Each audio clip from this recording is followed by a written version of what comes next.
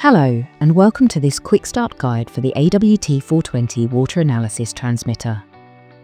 The AWT420 transmitter is supplied with the documentation, I.O. modules, cable glands, and mounting hardware specified when ordering.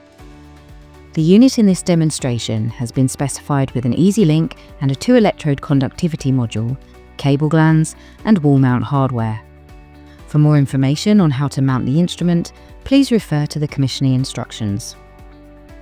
Inside the box for the EZ-Link module, you will find the module and connector assembly. Analog modules, for example, the two-electrode conductivity module, contain the module and test record. In this video, we will show you how to make sensor and power connections and configure the inputs using the Easy Setup menu. To install the EZ-Link module, first pass the connector cable through one of the smaller cable entry holes. Then pass the thread alignment washer over the EZ-Link connector cable, ensuring its alignment tab is face down and correctly aligned with the corresponding notch in the case. Then pass the back nut down the connector cable and secure in place. Finally, insert the EZ-Link module and plug in the connector cable. Analog sensors can be directly connected to the appropriate module using its spring-loaded terminals. Wiring connections can be found in the commissioning instructions.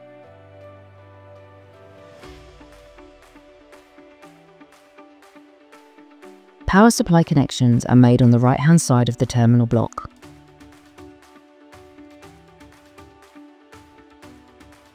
Refit the terminal cover and secure the door.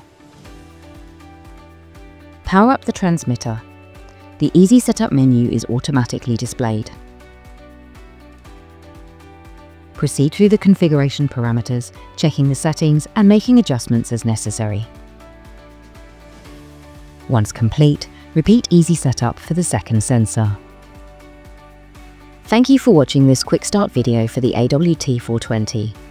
To learn more about the AWT420 transmitter and ABB's range of water analysis products, please visit www.abb.com forward slash water analysis.